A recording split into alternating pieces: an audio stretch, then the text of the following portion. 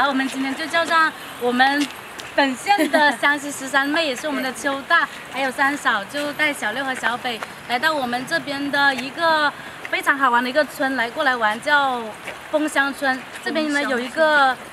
很大的一个洞井基地，里面的洞井都是手工织出来的，所以今天就带你们去看我们这衣服上面的这些洞井是怎么织出来的。前面就是我们的寨门了，每个寨子呢都会有一个寨门的，就是庇护我们这个寨子的平安，也是一个，就是说大家走过寨门就进入到一个寨子了。但是走这个寨门的时候有没有什么讲究？就是说女的先迈左脚，没有没有没有什么，没有什么。一般过节的时候会有一个，对，大家都站在两边唱南门就比如说什么。门来来，慢来来，慢来慢来，然后我们就走了吗？没有，你们就要喝南门酒，然后才能够进到寨子里面去。就哦，我在你的视频里面看到，就是对对对对，南门酒。嗯嗯，对对对。下一次活动你们过来体验好吗？好好好。每年的正月初四就是我们的水神节，知道吗？我们枫香村就说还有一个传说，很美丽的传说，就说我们枫香村有一口水井，喝了能够让所有的人变漂亮。我我去喝在哪？那那在哪里？在哪里？在哪里？在哪里？快快快带我去，快带我去。听我说一下这个故事啊，这个故事是是这样来的，就说以前在这个村里面有个长相奇丑无比的女孩嘛，人家都不愿意跟她玩，然后她她就每天上山砍柴吧，有天上山了就觉得很累，她就在山脚下休息，然后就看到那个井里面有很多山泉水是吧？她心想我口渴了，然后就喝一口水吧，她就看了一下，哇，感觉自己奇丑无比的脸，自己都不想看自己了，不管了，然后捧一捧一。口水啊，捧一捧水，然后喝了之后，拿来擦一下嘴巴，然后看到井里面有个很漂亮的姑娘，哦，看一下。然后井里面也在动是吧？后面回来之后，他妈妈发现他变得很非常漂亮了，然后后面也嫁了好人家呀，然后也走了好运啊。后面就村里面的姑娘啊，全部都去喝那口井了。难道那个那那你们就不要不要不要碰不要牵上了啊！别听听我说完，够漂亮了。听我说完，所以这个村里面的姑娘都特别的水灵，特别美。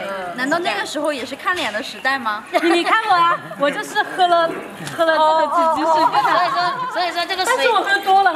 洞井传承基地，那洞井展览馆了，洞井传承基地，对，传承基地上面有很多织娘的，你不仅可以参观到成品，还可以看到他们怎么织这个洞井。走吧，走吧，走。每每时每刻都有人在上面对呀，对呀，专门。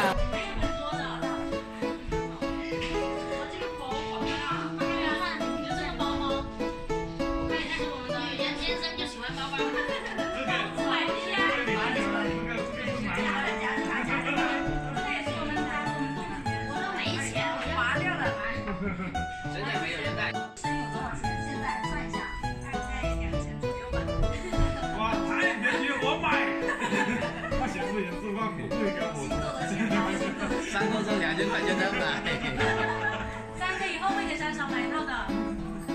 上面很多啊，这就是直娘，对对对，直娘。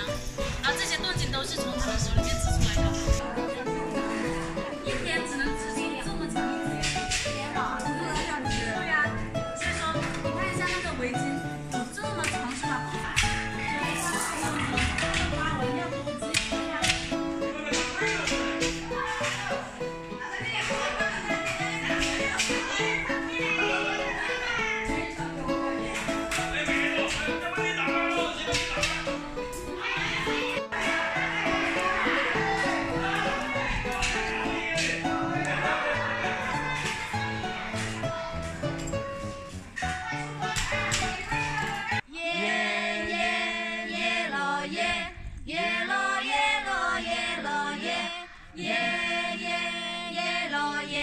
叶落